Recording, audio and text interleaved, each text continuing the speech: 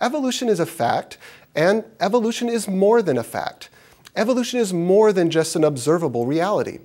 Evolution is more than these things because evolutionary models and explanations are the cornerstones of biological science. Evolution is the scaffold and the remarkable foundation for understanding our biological world and our biological self. To better understand what I mean, we need to discuss the term theory, as in evolutionary theory. In everyday speech, we use the word theory very differently from how we use the term theory in science. Theory in everyday speech is basically a hunch. As a fun example, let's discuss the Scottish cuisine known as haggis. Now, if you've never had this delicacy, let me explain. Haggis is a pudding. Okay, so far so good. I personally appreciate pudding. In fact, my appreciation for pudding rivals that of Bill Cosby's. But haggis is not that type of pudding. Haggis is pudding made from sheep's liver, heart, and lungs which is then simmered inside the animal's own stomach. Now, you're not going to see that flavor of pudding pop anytime soon. So, given that context, the comedian Mike Myers once cleverly stated, and I quote, My theory is that all of Scottish cuisine is based on a dare. I can certainly see my friends daring each other to eat something like that. And Mr. Myers' use of the term theory is normal for everyday speech. Clearly, our use of the term theory in everyday speech is very flexible. We can use it for humor. We can use it for an honest hunch, for how things work. But in science, a theory means something much more specific.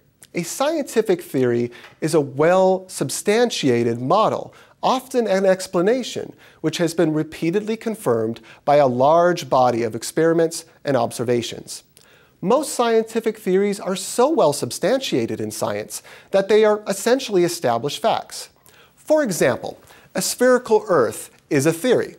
It is also an accepted fact. A spherical Earth explains a large body of observations.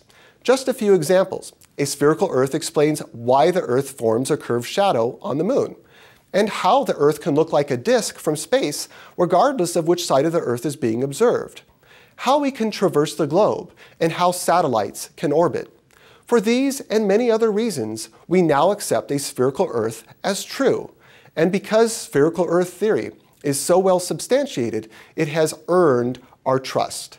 We can use the theory as a framework for impacting our lives in predictable ways, whether it being laying a cable for transcontinental communications or predicting the spread of the next year's flu virus. Because spherical Earth is a valid scientific theory, we can use it. What's important to understand is evolutionary theory is as substantiated as spherical Earth theory. And for that reason, evolutionary theory is empowering. While we can only give a few examples in this course, I hope this catalyzes some excitement in you to understand evolution more fully. Evolution is part of our physical reality. It is part of our world. And as famously stated by biologist Theodosius Dobzhansky, nothing in biology makes sense except in the light of evolution. While evolutionary theory is a framework by which we understand evolution, evolution itself is an observation. That is, evolution is a phenomenon that can be directly observed, and it's a fact.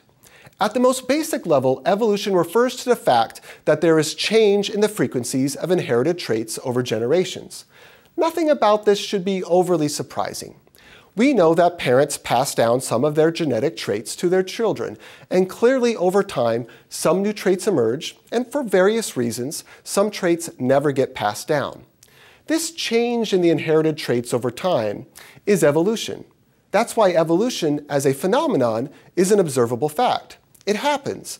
What's interesting is when we crank up time. As we crank up time, this relatively subtle observation will lead to remarkable biological diversity.